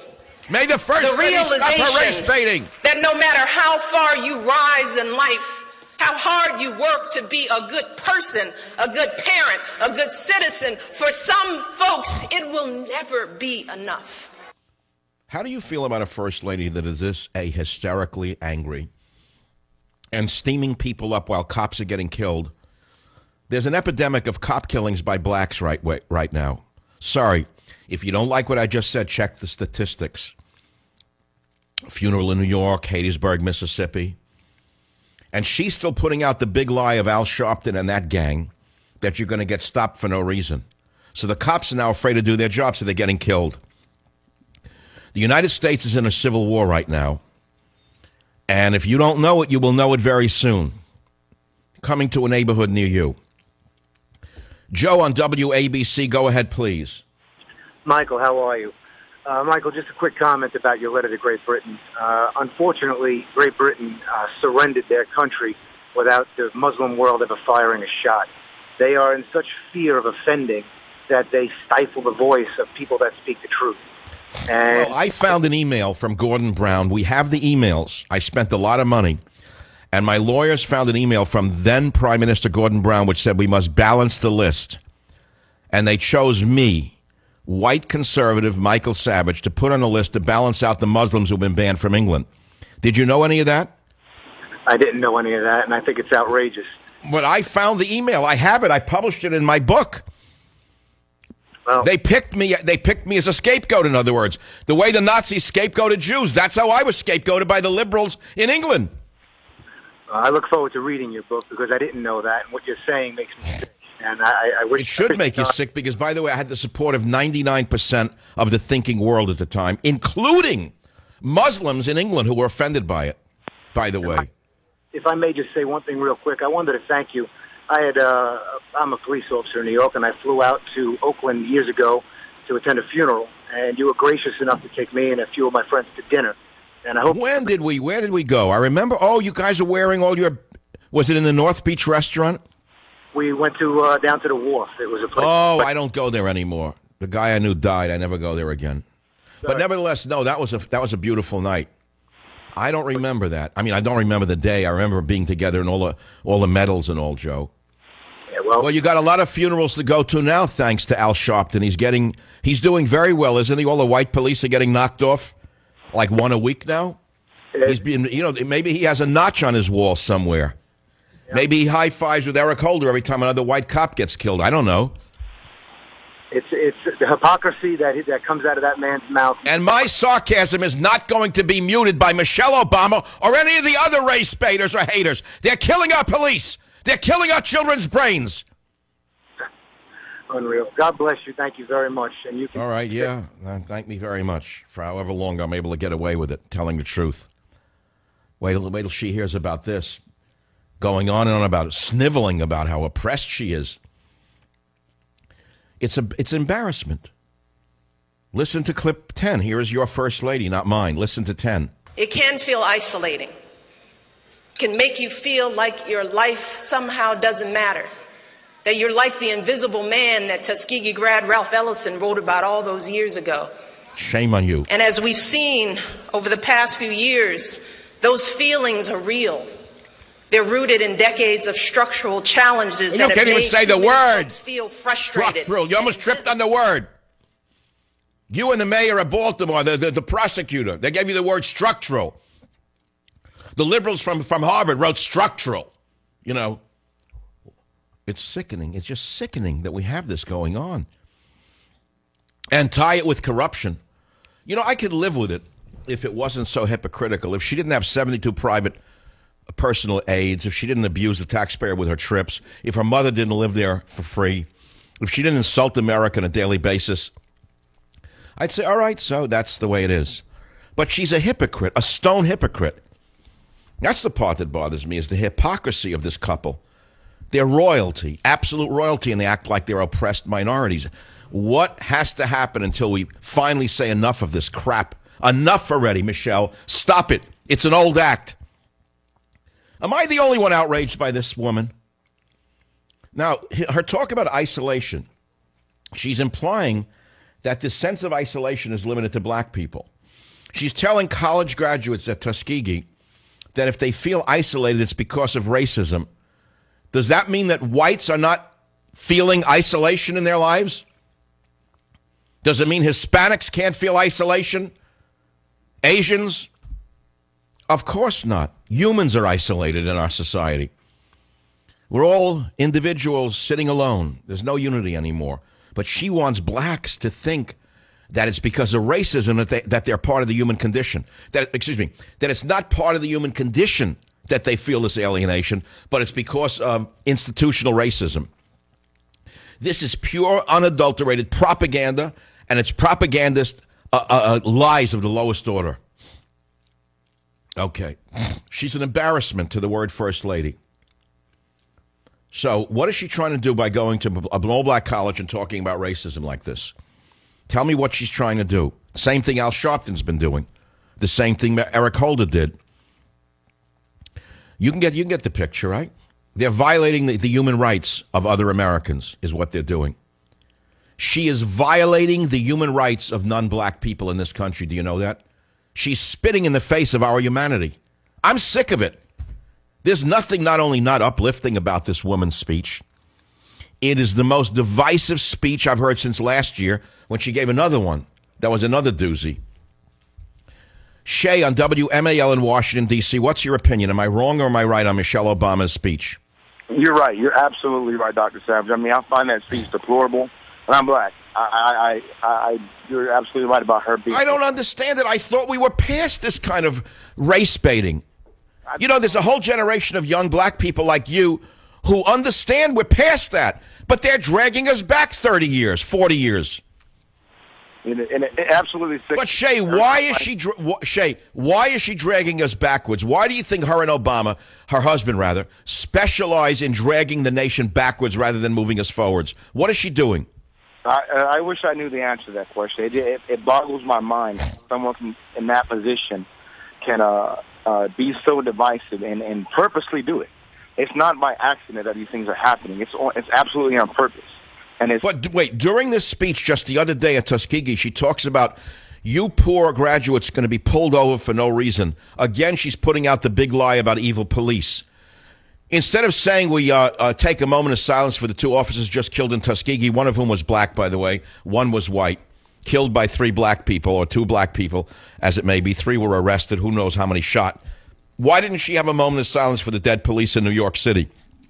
the dead cop who was shot in the face, or these two dead cops in uh, in Hattiesburg. Why does she continue to put out this hatred and these lies? It's shocking, by the way. Is there no one in the media who's willing to say the king has no clothes, and nor does the queen? Oh, you are. You- You've been saying it, and I, and I truly. Well, why am I saying it? Do you think I, I, I want to say this? Do you think I want them to hate me? Do you think I want to put my life at risk again in America by criticizing the queen? No, somebody has to be a truth teller, and that's what America needs more of is truth tellers. Well, it's funny you use the word truth teller because I have to give it to you. My book, Countdown to Mecca, just out today. Because Jack Hatfield had a television show called Truth Tellers. Did you know that? Sure. No, no, my character, Jack Hatfield, fearless San Francisco freelance journalist, defrocked former host of the cable TV program Truth Tellers. I don't know if you know that from one of my books, but you're getting a copy of Countdown to Mecca. So that's it. Now, what's coming tomorrow? 855 400 7282 is the phone. I don't know the phone, the phone number.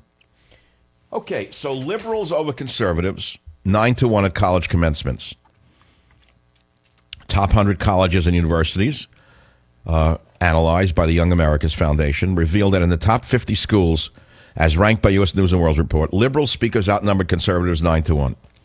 Among the top 10, all speakers were liberal. In the top 100, it was 6 to 1.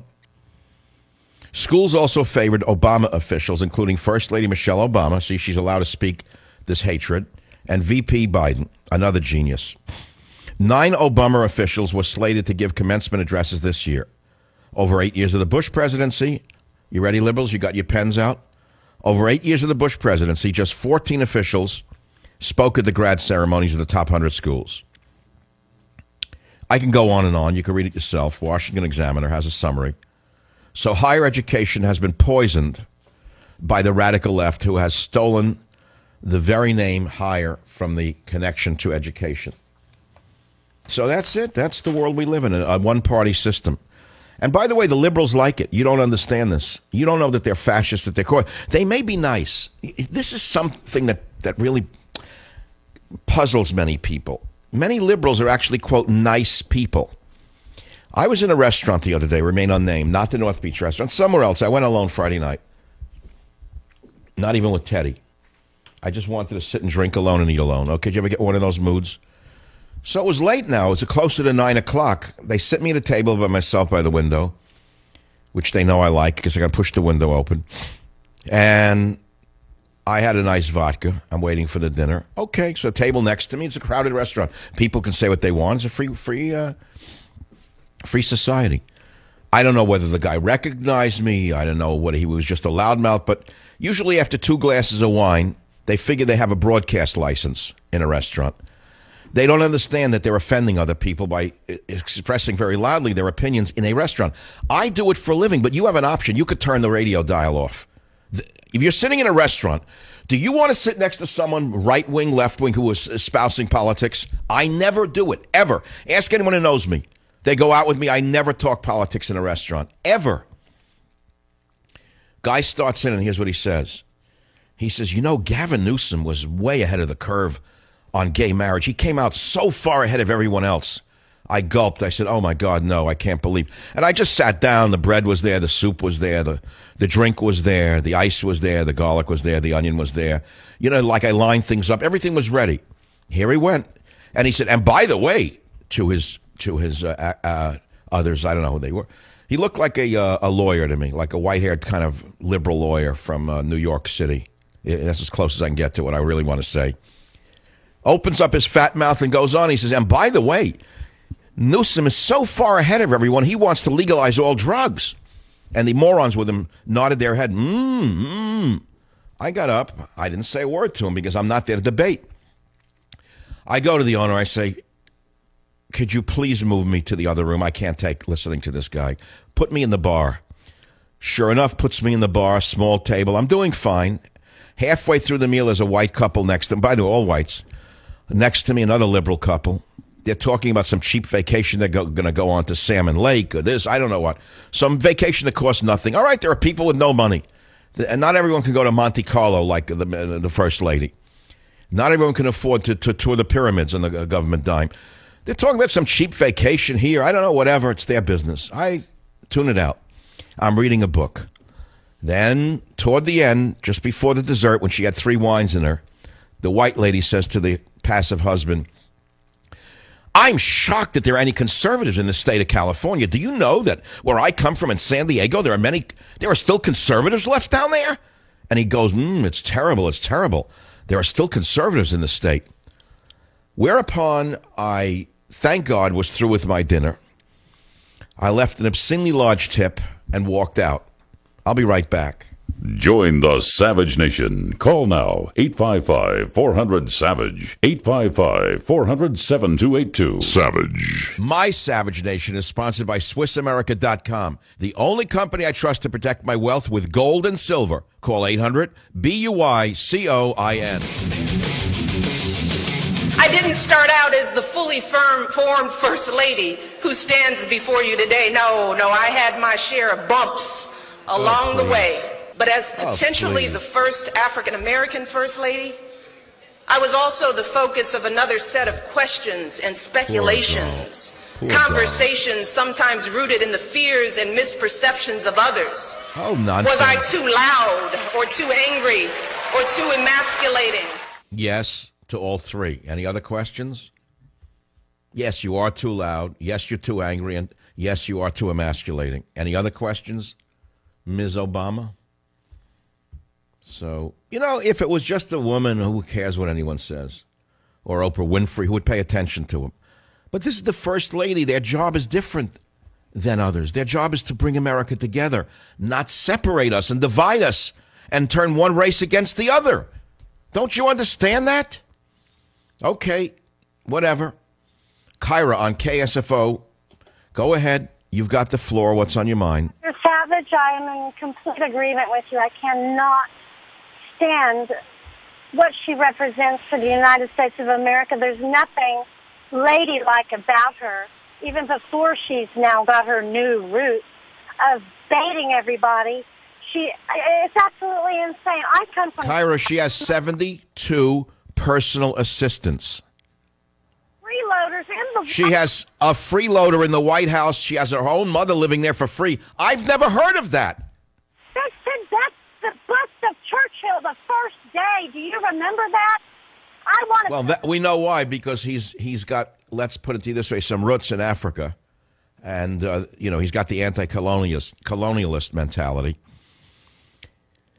So what can I say? The country has been penetrated and taken over by an anti-American communist regime that is so stealthy and so good at what they're doing that the average person doesn't even see it, even while they're openly fomenting revolution on a daily basis, Kyra.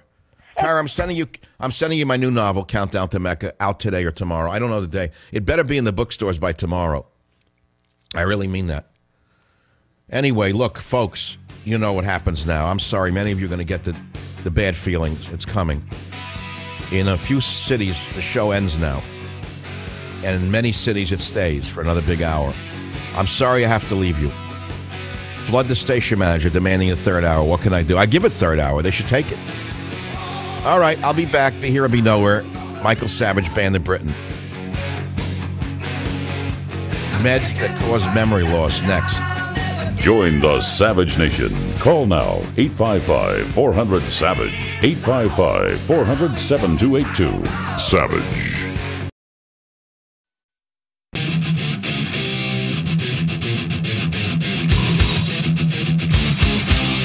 Warning The Savage Nation contains adult language, adult content, psychological nudity. Listener discretion is advised.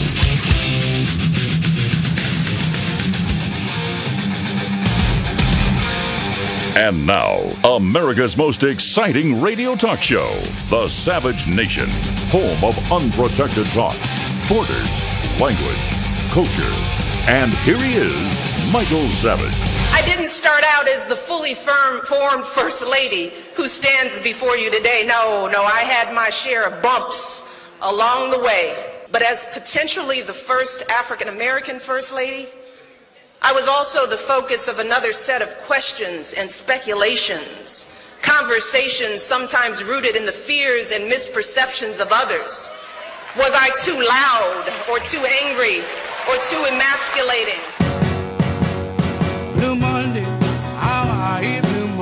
Yes to all three. Got to work like a slave all. But your gravest uh, deficit is your divisiveness. You still haven't accepted all the benefits of this country. You still haven't accepted that it were not for the white people who were hoodwinked by you and your husband, you wouldn't be first lady. They they voted for you. You weren't elected only by black people. All the racists you hate out there voted you in. Do you remember that? You forgot that already, huh? It's uh, it's worth playing because unless someone points this out, it's going to get worse. It's only the beginning of graduation season. I can't wait till that dingbat Nancy Pelosi speaks again. And after they, she almost burnt Oakland to the ground by telling them to be what was the word again? I keep forgetting the word. Disruptors, dummy, dummy. Be a disruptor. You hear? They, they almost burnt Oakland to the ground a, a week ago. The loser bums on the bottom, the hordes, the mobs of nobodies. Wasn't bad enough what happened in Baltimore. She's going to get up now and want more. Instead of bringing the people together, instead of saying what happened in Baltimore was terrible, let justice take its course. Instead of telling the kids at Tuskegee to go out there uh, because they've never had a greater opportunity in the history of Africans in America, there's never been a greater opportunity for Africans in America than today. Look at me. Look at my husband. Look how far we've come because this is not a racist nation. And you can go as far as your talents and your uh, wishes will take you. That's what she should have said. Instead, once again, she wraps herself in the victim. What if we had the first Jewish president? I don't know who. I'm going to make some, I, I don't know who. What if a day comes we have the first Jewish president and the Jewish first lady gets up there and she starts complaining again about being Jewish and being picked on and that people don't like her because of her her, her mother's accent or whatever. The, I mean, how would how would the nation react to a Jewish first lady saying the same things? Like I was subject to another set of questions, or uh, am I too uh, loud or too angry or too emasculating? And what would America say to a thing like that? And what when we have our first Hispanic president, if there's an Hispanic first lady who's as low class as her, who gets up there and starts talking again about racism when she's first lady, ipso facto, if there was such bad racism, she wouldn't be first lady, would she? Since whites make up 68 or more percent of the population, by definition, the nation has no racism left in it, except from her, maybe, and her cohorts who are steaming up everybody in the country. Everywhere you turn, all they want to do is turn everyone against each other. Anyway, you get the picture. It's kind of repugnant. What I want to do now is talk about something positive. My new novel, Countdown to Mecca, because it's out. I worked very hard on it. It's the last in the series. Many of you bought uh, the previous editions of A Time for War and Abuse of Power. It's a thriller, it's a novel, it's power fiction, tinged with terrorism and intrigue, with an old school rough and tumble journalist as its hero a thriller sure to score a bullseye with its target audience, said Publishers Weekly of the earlier one. A fast paced international thriller whose story spans the globe. Dr. Savage is at a home run with abuse of power. The story grips the reader and delivers the goods. Free Republic. They love my first two. So I think this one is the best and the last. So I gave an interview this morning to set the record straight because I'm, I'm, I'm a little fearful of what the left is going to do with the title. So let's listen to the rest of the interview right here, right now on the Savage Nation. In Countdown to Mecca, I introduced a new character called Sammy Hatfield. That's Jack's half brother. Sammy is a former Marine who was in a motorcycle accident living on the proceeds of the lawsuit. And he has a neighbor, a call girl named Anna. And Anna's a Russian prostitute. She happens to be working the military generals, okay? in a hotel in San Francisco. and she overhears one word, one word she shouldn't have heard, and they're now after her. She runs into Sammy's apartment, and Jack realizes after trying to help them, he stumbled upon a conspiracy to destroy Mecca.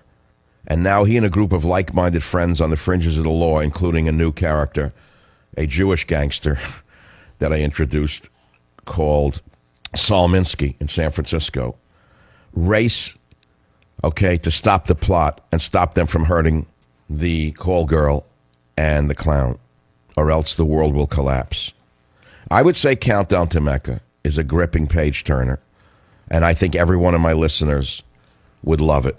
I'm not saying buy the book for me. I'm saying buy the book for you. The main point of your novel is preventing Mecca from being blown up. Why is your publisher so worried about this book? Because the title says Countdown to Mecca, and as you know, the liberals who are funded by very evil forces who have tried to destroy me before, they've tried to destroy me for 21 years.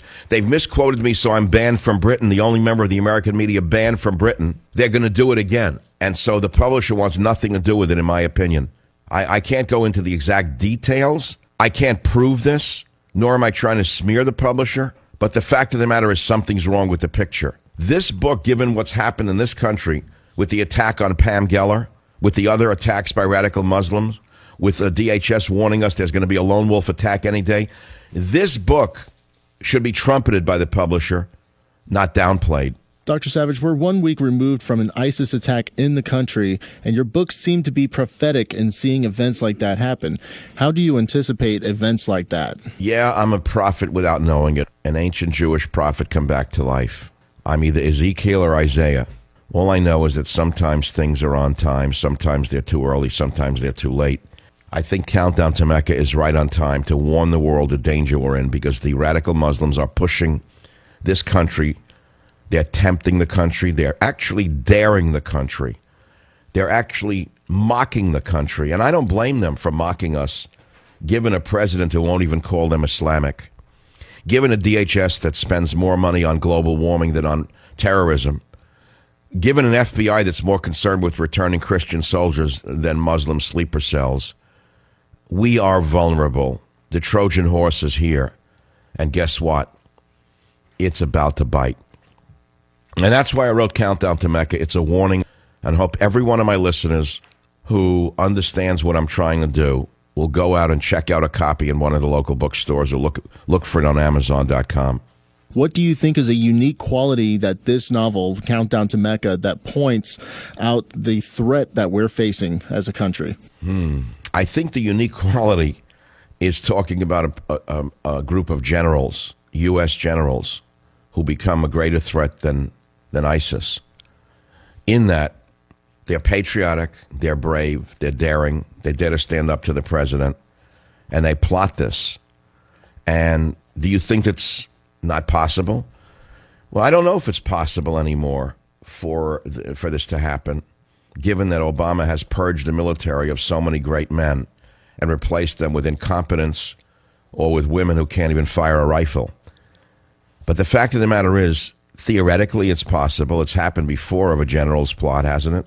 So, yeah, generals do these things in other countries.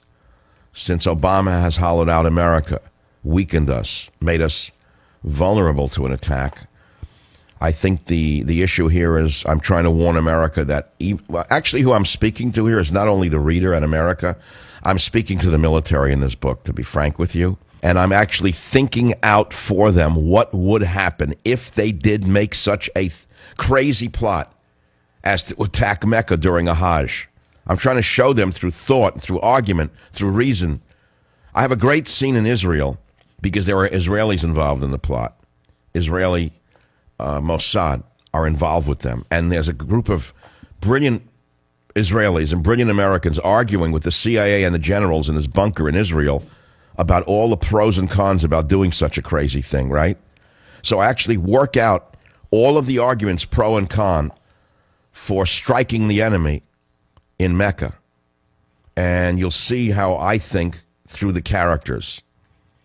Shakespeare couldn't have done a better job than I did in Countdown to Mecca, in my humble opinion.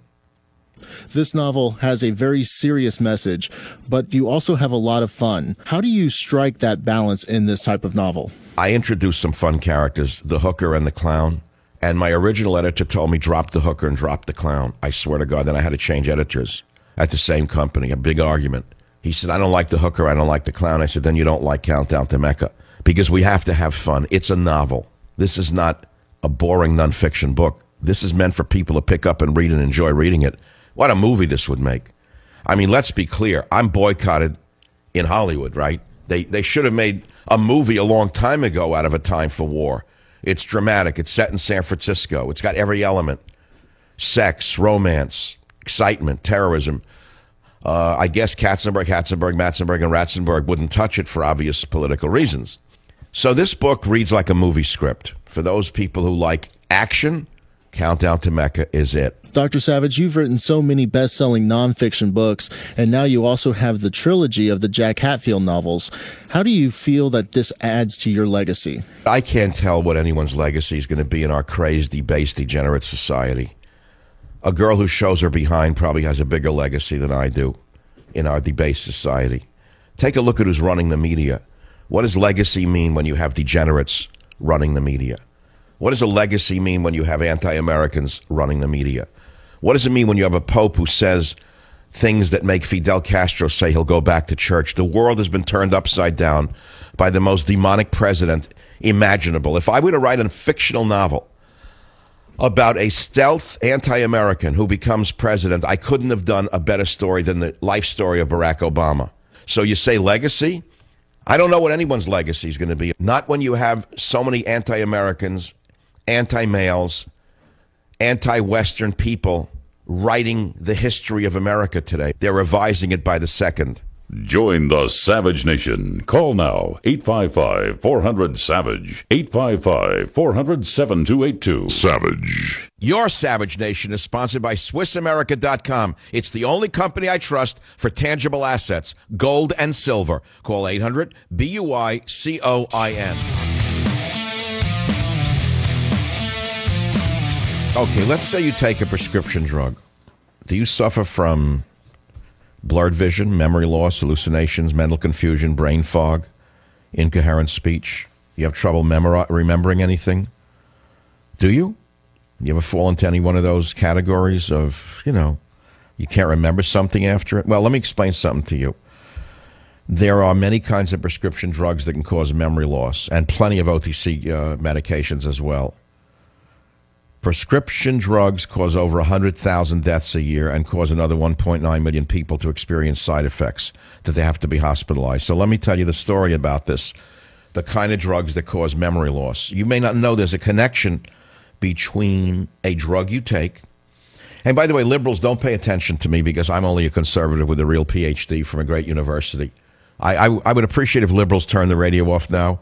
I'd like you to do the opposite of what I'm telling sane people to do right now if you take a drug that starts with anti, such as antihistamine, antidepressant, antipsychotic, antibiotic, antispasmodic, antihypertensive, these drugs are likely affecting your acetylcholine levels. So, what is acetylcholine? Acetylcholine is the primary nerve transmitter involved with memory and learning. And when you're low in acetylcholine, you become forgetful. You can't concentrate or think of the right word. You ever have that happen? It could be the drug you're taking. But serious acetylcholine deficiencies are associated with dementia and Alzheimer's. Acetylcholine activity is the target of Alzheimer's drugs, which block the breakdown of this brain chemical. In other words, anti Alzheimer's drugs try to keep as much acetylcholine operational in your system as possible. So now you're taking a drug that blocks the action of acetylcholine, and they're known as anticholinergic. So maybe you have blurred vision, constipation, confusion, lightheadedness, difficulty starting and continuing to urinate, uh, memory loss, loss of bladder control. These could be related to your drugs. And by the way, these drugs include statin drugs. And I want to talk about the great cholesterol myth another day because uh, perhaps the single worst group of drugs for your brain are statin drugs. Many of you are on statin drugs and you think you're doing fine, but it could be affecting your memory. Very important for you to know that. Did you know that one quarter of your brain is made up of cholesterol? You think it's a poison, don't you? Well, no. Cholesterol is necessary for memory, learning, and fast thinking. So, cholesterol lowering drugs affect the brain negatively. And that's a whole separate topic. So, which drugs actually cause memory loss? For Parkinson's, for epilepsy, for painkillers, sleeping pills, benzodiazepines, benzodiazepines, quinidine, quinidine, naproxen, steroids, antibiotics, especially the quinolones, antihistamines, high blood pressure drugs, insulin, beta blockers, methyl dopa, antipsychotics such as Haldol and Mellaril, tricyclic antidepressants, lithium, barbiturates, Amytal, Nembutal, seconal, phenobarb, chemotherapy drugs. Very important you know this. By the way, this list was assembled by Richard C. Mohs, PhD, former ch- vice chairman of the Department of Psychiatry at the Mount Sinai School of Medicine. So, liberals, pay no attention to what I've just said. I want you to go out today, liberals, and I want you to ask your doctor to give you more drugs that limit your um, acetylcholine. Do the opposite of what I say, please. Please do more. Be more of a mentally ill person. Take more of these medications and don't know what's going on. Now, not all medication that cause memory loss are prescription only. many over the counter drugs can cause memory loss by the same mechanism, by blocking the neurotransmitter acetylcholine. And these OTC remedies that you should watch out for, they're anticholinergic, are Advil, PM, Benadryl, Claritin, Dramamine, Excedrin, PM, Nytol, Pep, Pepcid AC, Sominex, Tagamet, Tylenol PM, Unisom, Zantac. It's interesting. I have severe allergies. And as a result of studying this, I wound up taking a different anti allergy drug, one that does not affect my acetylcholine levels, which is why I'm sharper than I've ever been. Join the Savage Nation. Call now 855 400 Savage. 855 400 7282. Based on their limited notion of the world. And my husband and I know how frustrating that experience can be. We've both felt the sting of those daily slights throughout our entire lives. The folks oh who crossed the street in fear of their safety. The clerks who kept a close eye on us in all those department stores. The people at formal events who assumed we were the help. And those who have questioned our intelligence, our honesty, even our love of this country. Well, you sure love the country. How stupid can we be that we gave you Air Force Two to gallivant around the world? Of course you love the country. I'd love it too. Have the mother in the White House at public expense and no one dare say a word. What could be better? Sure, you love the country now because it's uh, catering to you, bowing down to you. Yeah, we question your loyalty to America. We question your husband's policies because that's the American way. And if you can't take the heat, get out of the kitchen. Isn't that an old American statement? If you can't take the heat, get out of the kitchen. Well, apparently Michelle Obama can't take the heat. No, anything anyone says to her, any kind of political commentary or criticism, is apparently to her racism. And you notice how her accent changed in front of the Tuskegee audience, sort of like Hillary. She has a, a, a lady of many accents. That's pretty interesting. Here she grew up in a black middle class family, went to Ivy League colleges, and all of a sudden the accent changes to an innuendo style accent. Whatever. It's sickening. It's disgusting. It shows she's immature. It shows she was never qualified to be first lady. It shows you how far she's drug uh, the, the, the office of the presidency down to her husband's level. But there's more to it than meets the eye. This is their stock and trade. In addition to attacking police, and oh, by the way, cop killings have doubled as a result of the president, Barack Obama, uh, let us see who else. Bill de Blasio in New York. Oh, who else? Al Sharpton and everyone in the media and their hate campaigns, which have been launched for two years now. Now cops are getting killed on a regular basis. I couldn't sleep last night thinking about the pain of the family in Hattiesburg, Mississippi, of the two cops who stopped the car in an ordinary traffic stop, and because of Barack Obama's hate and because of Eric Holder's hate attack upon, upon police, and Al Sharpton's vicious, vicious, vicious scum mouth. The cops are no longer protecting themselves. They're letting the vermin kill them first. Thank you, Sharpton. And this is all she can talk about. It's about her again. Instead of apologizing for what she's done to America, how she's insulted the office of the First Lady, instead she goes to the Tuskegee Institute, an all black college, which is interesting unto itself. I don't know of any all white colleges, do you? But nevertheless, she goes to an all black college where the kids are generally very smart and very good students. And instead of leaving them alone to go forward in their lives as equals, she tells them they're not really equal and that there's a lot of racism in America. All right, what can I do about it? Talk about it. That's all.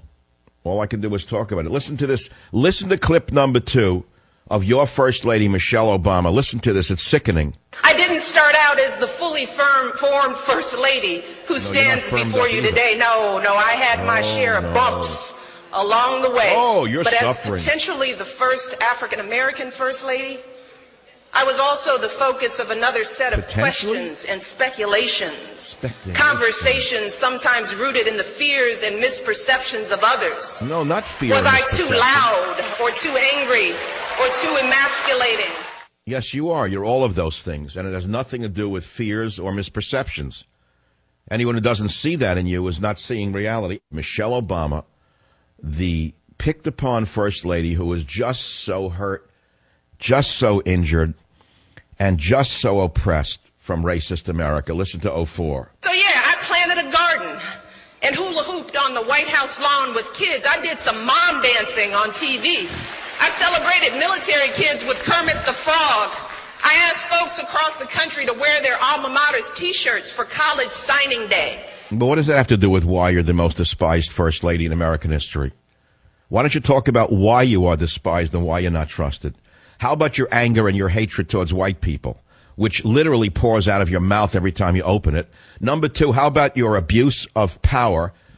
How about the fact that you have 71 to 72 personal assistants at public expense? How about the fact that everyone knows you're a monster behind the scenes? And how about the fact that I can prove it by the fact that you fired your florist? Listen, not all of us are suffering memory loss, Mrs. Obama. In fact, many of us can see exactly who you are. So don't think by telling us about mom dancing on TV, we're going to forget it. Anyway, happy Mother's Day. I had a nice Mother's Day yesterday. I went to the North Beach restaurant. Teddy loved it. Teddy had a wonderful Mother's Day. I don't know what he ate. He ate a bowl of water and chicken, right? We always get chicken for Teddy. Broiled chicken, no salt, no pepper. And I usually get it first for the dog, and I'm his food taster. It's actually the best appetizer in, on the menu, so that's why I order it from. And then I always say it's too hot for the dog. Let me taste it first. Usually I'm starving till they feed me. I eat too much bread. I drink too much alcohol. So it's better that I eat the dog's uh, appetizer first. And today is the first day of the rest of my life. And it's the day that Countdown to Mecca is in bookstores, or they better be there. And you're going to go and be my little soldiers, my armies of the day. I want you to be my armies of the bookstores, ladies especially. I want you to go in and look for Countdown to Mecca. Go to the big chain stores. If the book is not prominently displayed, will you please report to the show? Now, I want to backtrack for a minute. Now that the conservatives have won a plurality in England and do not need the liberal Democrats for their coalition, we are hopeful that Mr. Cameron will finally take Michael Savage's name off the banned in Britain list. Because make no mistake about it, not Rush Limbaugh or one of his girlfriends or boyfriends or minions, but Michael Savage is the only member of the American media who is not allowed to enter Britain because of the blacklist that they created based upon a smear campaign. And I'm tr- still trying to get my name off the list. So I'm working with a major, major newspaper, which I will not mention until it's set in stone. We're going to send a letter to Mr. Cameron because no one in the media knows more about free speech than I. That's also coming.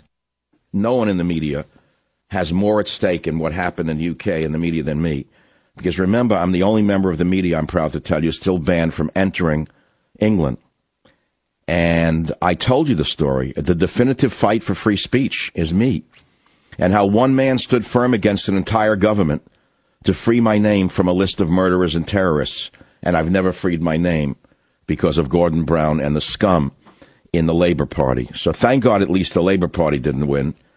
But uh, Cameron, who had promised people who knew me, he he'd take my name off the list, shamed himself by by not doing so. You know what I'm saying? It's a huge scandal in England, and what's going on in America is very, very uh, near and dear to my heart because of what went on in England. And I know an awful lot about free speech. And I want to make a side note. No one in the American media, save one person, came to my defense. I think it was only Laura Ingraham on radio who came to my aid. Not the big mouth Rush Limbaugh, the great conservative. He made believe it didn't happen. Because if it's not about him and if he can't capitalize on it in some way or make it part of his show, it's, it's of no interest to him. He didn't help me. Certainly, uh, uh, Hannity didn't say a word. O'Reilly didn't say a word. No one on Fox News came to my aid. But the preface of the book says the savage fight against censorship. Isn't that interesting? We can talk about Barack Obama's political advisor, Jim Messina, getting credit for leading conservative British Prime Minister David Cameron to an overwhelming victory. you get that one? Did you hear what happened today? Four of six Gulf rulers are skipping Obama's Middle East lecture tour. In fact, the new king of Saudi Arabia told them an hour before he's not going. So, you know, the king has no clothes. They can look right through this con man. They know he's a stooge of Iran. And Saudi Arabia is not even going to the conference because he's going to lecture them on human rights. Can you believe this? He's going to lecture them on human rights and not say a word to Iran. So don't tell me we can't see the, the picture. God sees the truth but waits. I see the truth and I don't hesitate to tell it to you like it is because that's my one and only job. Forgive me if you find what I may say slightly offensive at times. I have one job. You know what that job is? Is to keep you listening and tell you like I see it. Call them like I see them. That's my whole job. It's that simple. What else do you want me to talk about? You want to give you the government party line? I don't work for, for Westinghouse. I don't work for NBC. I don't work for a CBS. I'm not Bill Maher. I'm not one of the the uh, the stooges, the government jesters with the fake audiences that every once in a while they throw out a conservative line and make believe that they're really not a government jester. Their own lock, stock, and barrel. They may as well be trained by the CIA to, to put out the rubbish they put out with the laugh lines. It's like Obama in front of a stooge audience. So there it is. So of course you're going to be offended by certain things that people say if you live in a world that's so constrained. All 19 women failed Army Ranger School in its first phase. Boo hoo. Well, why don't you change the rules? I guess it's a racist white male thing. Ranger School. It's not feminist enough. I think they should make it easier for women to pass the Ranger School. Then anyone could be a ranger. The way anyone could be a sociology professor. Oh, hey, what's the point? Look, I could do this day in my hand behind my back. Liberals over conservatives nine to one at college commencements. Gee, I'm shocked by that. Isn't it odd that I am one of the most distinguished graduates of the University of California at Berkeley with a real PhD, with 25, 28 books to my credit, many bestsellers, and I've never been invited to UC Berkeley to give a speech. Instead, they invite liberal slime to give graduation speeches, including the uneducated dolt Nancy Pelosi, who last year at graduation got up there like the moron she is and said, what was the word she used? Disruptors. I remember it. She said, be a disruptor. Go out there and be a disruptor, said Nancy Pelosi. So they burnt Oakland to the ground. They smashed up cars in Oakland, California. I guess they uh, were, were the disruptors. And do you know why she wanted them to be disruptors? Do you know why Hillary tells them to be wild and free and crazy? Do you know why Al Sharpton wants the cities to burn? Do you know why Obama and Eric Holder want the mobs uh, raging? So they stay away from the White House lawn. You don't understand it. It's called diversion. Be right back. Join the Savage Nation. Call now 855 400 Savage. 855 400 7282. Savage. The Savage Nation is sponsored by SwissAmerica.com, the only company I, Michael Savage, trust to buy my gold and silver from. SwissAmerica.com. All right, we conclude today's broadcast with a positive story. Mighty Fine at 109, America's oldest vet Mark's birthday with cigar. He happens to be African American. And in the speech that he gave, he didn't complain about racism, by the way. That was for Obama to do. I'll tell you the story in a minute. World War II veteran Richard Overton is seen in his Army uniform in an undated photograph uh, provided by the city of Austin. This is uh, Fox News today. And he said he feels a little stiff from time to time. And he's cut out the whiskey. But other than that, he feels pretty good. He's 109, turned 109 Monday. He said, I get around pretty good, just get a little stiff. I'm doing all right, I guess, Overton told Fox News he waited at this Austin, Texas home for a car to pick him up and take him to meet Governor Greg Abbott. Going to go see the governor, he added. He wants to talk to me. The World War II veteran's friends and family tossed a birthday party for him last week. A 100 people attended. The theme of the day was Mighty Fine at 109. Well, he served from 1942 to 1945 uh, with stops in Hawaii, Guam, Palau, and Iwo Jima while attaining the rank of sergeant. He saw many of his Army buddies die serving their country, and the rest have passed away since the war ended.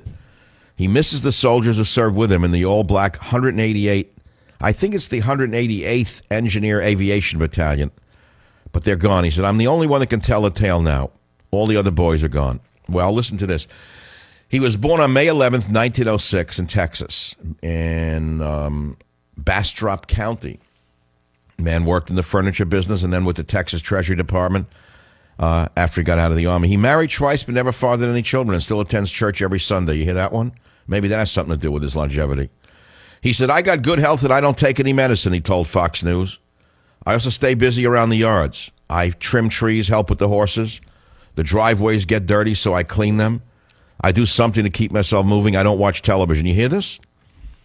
Overton lights up a dozen cigars a day, but he stopped taking a shot of whiskey in his morning coffee. Don't drink that whiskey anymore, he said. Now, here's the punchline. Here comes the racism. He met President Divider in 2013 at an event at Arlington National Cemetery where the divisive president singled out Overton during his remarks. In other words, he saw him and then he said, uh oh. Here's what Obama said to sully the day. When the war ended, Richard headed home to Texas to a nation bitterly divided by race, said Obama. And his service on the battlefield was not always matched by the respect that he deserved at home. But this veteran held his head high. He carried on and lived his life with honor and dignity. Other words, typically Obama jumped in and uh, tried to steal the, the, the thunder. Anyway, the oldest living World War II veteran, 109 years old, cigars, booze, but he goes to church every week, you know, trims trees, helps with horses cleans driveways. You don't watch television. I do everything the reverse. Uh, I watch a lot of television.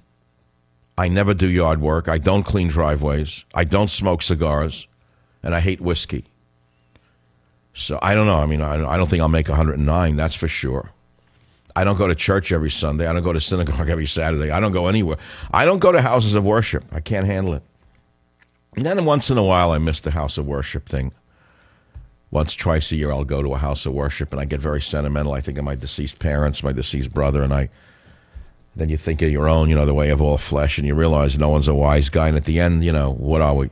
Ashes to ashes and dust to dust. You know, no one's above that one, are we? What am I giving you this sermon? Is anyone listening to this anymore? They all left already. They put on banger already. They they switched to the wall. They're banging their heads against the wall because I stopped. Uh, I didn't stop anything. I'm doing the show. Anyway, it's been fun. I talked about Teddy at Mother's Day. I read from my novel, Countdown to Mecca, and I really would like you to go to the bookstores and look for it. I talked about the Banned in Britain update, how I'm working with a major newspaper to publish an open letter to the new Prime Minister. And then I disclosed medications that cause memory loss. If that's not enough of a show, there's always tomorrow. Good night.